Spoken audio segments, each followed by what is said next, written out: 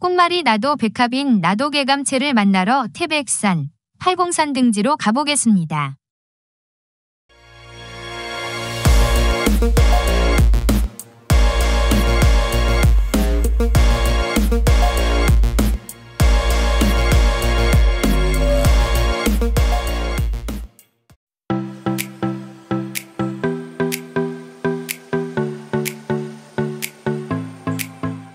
나도개감 채는볕이 잘 드는 산지나 초원에서 자라는 백합과의 여러 해살이 풀입니다.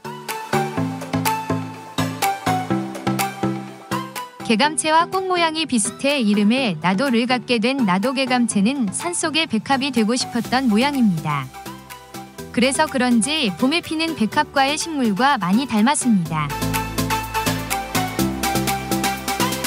꽃은 산자고를 축소한 듯하고 잎은 달래와 비슷합니다.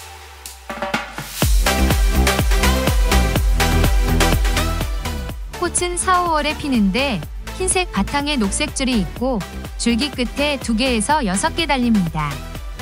수술은 6개이고 꽃밥은 넓은 타원형이고 암술대는 끝이 희미하게 3개로 갈라집니다.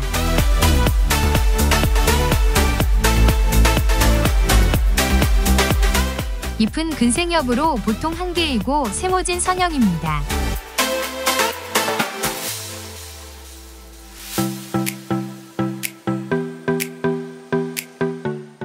뿌리잎은 한두 장이며 세모진 선형으로 줄기 중간쯤에 작은 잎이 여러 개 달립니다.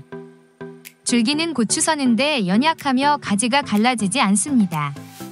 땅속 줄기는 난형으로 원통형에 가까우므로 북부지방에 나는 개감채와는 구별됩니다. 잎이 선형으로 땅속 줄기에서 바로 붙으며 꽃줄기에도 작은 잎이 여러 개가 붙는 점에서 땅속 줄기에서 나온 잎과 꽃줄기의 포를 제외하고 잎이 없는 산자구와도 구별됩니다.